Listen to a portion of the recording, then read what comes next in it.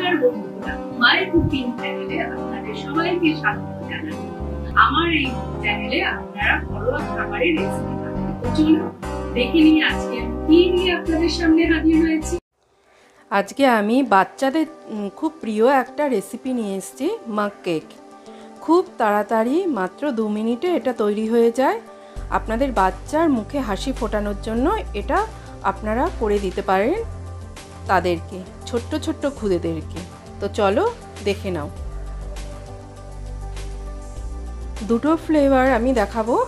একটা হচ্ছে ভ্যানিলা একটা চকলেট ফ্লেভার দারুণ, একবার ট্রাই করবে তোমরা। আমি এখানে ওরিও বিস্কুট নিয়েছি, ছোট একটা প্যাকেট সেটাকে আমি কেটে কেটে নিচ্ছি, ছোট ছোট টুকরো করে কেটে নিলাম।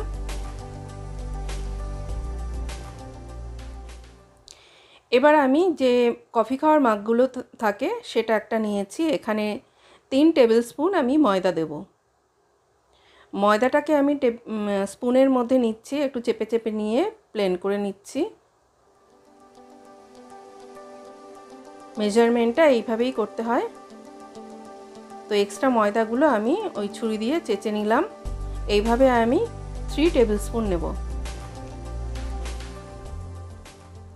এটা আমি প্রথমে দেখাচ্ছি ভ্যানিলা ফ্লেভারেরটা। এবার আমি চিনি গুঁড়ো নেব দেড় টেবিল স্পুন। চিনিটাও ঠিক ওইভাবেই নিতে হবে। এবার হাফ টেবিল স্পুনে, প্রথমে এক এক টেবিল স্পুন নিলাম, এবার হাফ টেবিল স্পুন নিলাম। এবার আমি তেল দেবো এক টেবিল স্পুন। সাদা রিফাইন্ড অয়েল। এবার আমি কন্ডেন্স মিল্ক দিচ্ছি এক টেবিল স্পুন। দু চিমটি বেকিং পাউডার দিলাম। আর এক চিমটি বেকিং সোডা।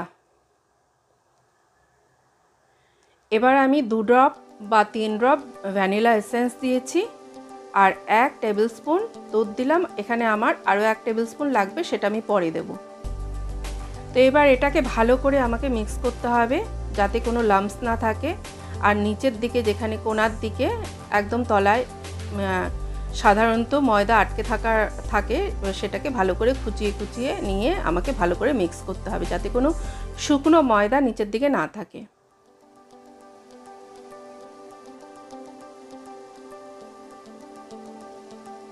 এবার আমি আরও এক টেবিল স্পুন দিলাম দুধ।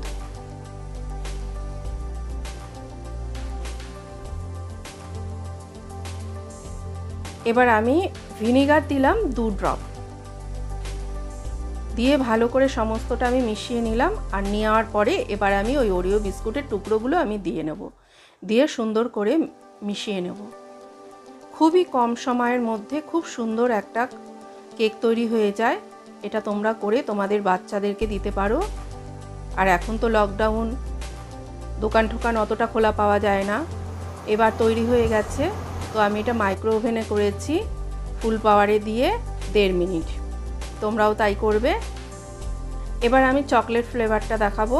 এখানেও আমি তিন চামচ নিচ্ছি ময়দা।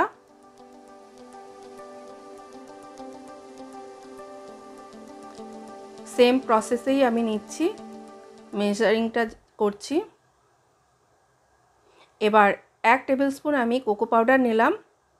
আর দেড় টেবিল স্পুন আমি এখানে চিনি নেব চিনি গুঁড়ো। আমরা যে বাড়িতে চিনি খাই, সেই চিনিটা গুঁড়ো করে নিয়েছি ওটাই। এবার আমি তেল দেব এক টেবিল স্পুন। আর এক টেবিল স্পুন কন্ডেন্স মিল্ক। এবার আমি দুধ দিলাম এক টেবিল স্পুন, পরে আমি আবার আরেক টেবিল স্পুন মেশাবো। এবার বেকিং পাউডার আমি দিয়েছি দু চিমটি আর বেকিং সোডা দেব এক চিমটি। তোমরা যদি কেউ নুন দিতে চাও, এই টাইমে এক চিমটি নুন দিতে পারো। এবার আমি ভিনেগার দিলাম দু ড্রপ মতন। দিয়ে আমি এবার এটাকে সুন্দর করে মিশিয়ে নেব। এই কেকের ব্যাটারটাকে মিশিয়ে নেব। এখানে আমি আরেক আরেক টেবিল স্পুন দুধ দিয়ে ভালো করে মিশিয়ে নেব। তারপরে আমি এখানে ফুল পাওয়ারে দেড় মিনিট দেব মাইক্রো ওভেন দিয়ে আমি কেকটাকে বেক করে নেব। আর তোমাদের যদি নিউ মডেলের হয়, যেহেতু আমারটা অনেক পুরনো, তাই ফুল পাওয়া দিতে হচ্ছে, তাহলে তোমরা আটশো থেকে নশোতে দিয়ে তোমরা এক মিনিট দেবে, তাহলে সুন্দর একটা মাক কেক তৈরি হয়ে যাবে। খুব তাড়াতাড়ি। তো আজকের মতন এই পর্যন্তই। ভালো থাকবে, সুস্থ থাকবে, সাবধানে থাকবে। আর এই মাক কেক বানিয়ে নিজে খাবে, বাচ্চাদেরকে খাওয়াবে, তোমার পরিবারের সবাইকে খাওয়াবে। টাটা!